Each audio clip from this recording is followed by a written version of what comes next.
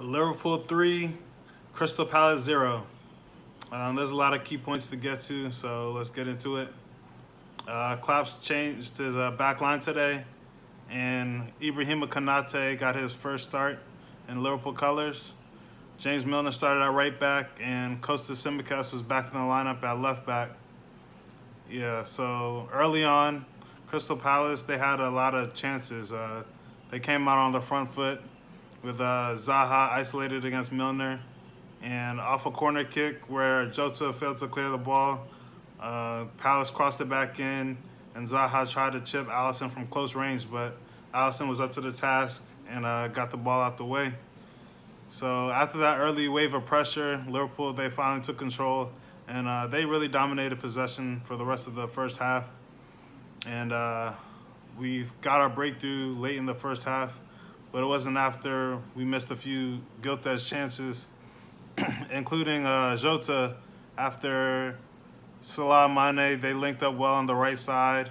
And I think it was Milner who crossed it in, or Salah, and Thiago, yeah, Salah, and uh, Thiago headed the ball.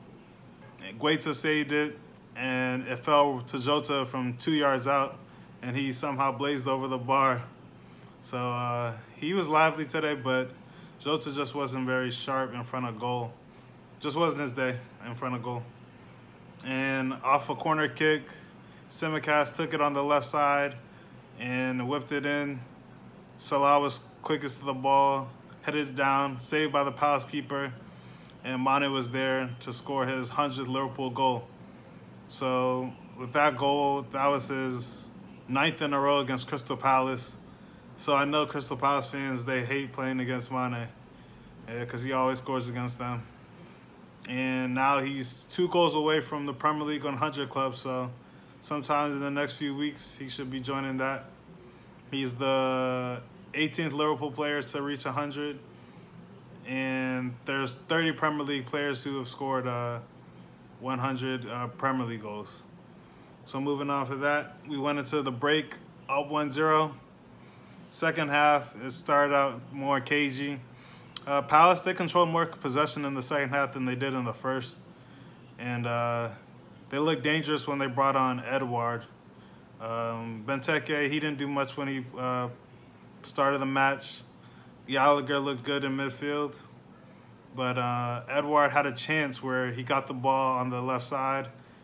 Uh, what, he could have taken it first time and scored, but uh, his touch got away from him which led to Alisson making the save. So Liverpool, we punished them on the other end off another corner kick routine. Van Dijk beat his man in the air, and Salah was there to tap home with his right foot. No, no, it was with his left foot. But to make it 2-0, and he was hyped after that, took his shirt off, celebrated with the Kop end, and it was smooth sailing from then on. Uh, all three of our goals came off of corner kicks, actually.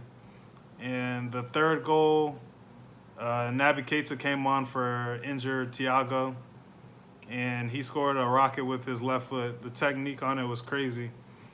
He um, the ball bounced to him on the 18, left foot, balance. He didn't lean back and hit the target. Um, yeah, his celebration was funny too because he did the Eric Cantona looking around. I actually thought that the goal might have been disallowed, but he, he just scored and he knew he was like, I'm that guy. so it's good for Keita to score because he um, his form has been in and out with Liverpool, up and down. When he plays well, he seems to always get injured or just Klopp not trusting him at times. And when Klopp does trust him in big games, like against Madrid, it just doesn't work out. But uh, hopefully he's turning a new leaf, and we're going to need him, especially with Thiago getting hurt in this game. So another injury there.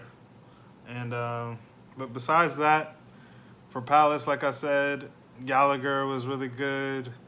Zaha wasn't as um, he didn't tear Milner apart like I thought he might. Of course, James Milner, he's Mr. Reliable. And Zaha wasn't able to use his pace against him and his trickery because uh, Liverpool always had, they always uh, clogged the areas whenever Zaha was on the ball.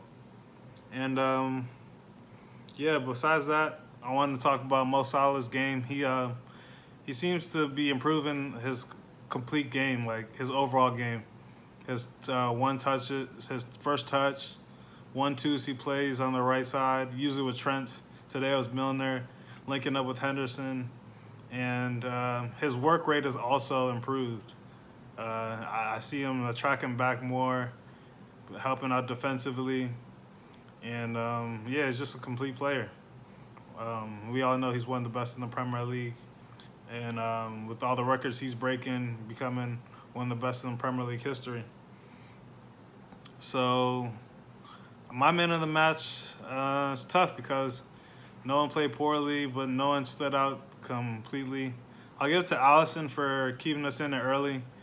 He didn't uh, let Palace take the lead, and we got another clean. Uh, right now, Liverpool are tied for first. Um, Chelsea are ahead on the fact that they're away when we drew 1-1 with them. So um, we both have, what is it, four wins and one draw. So 13 points.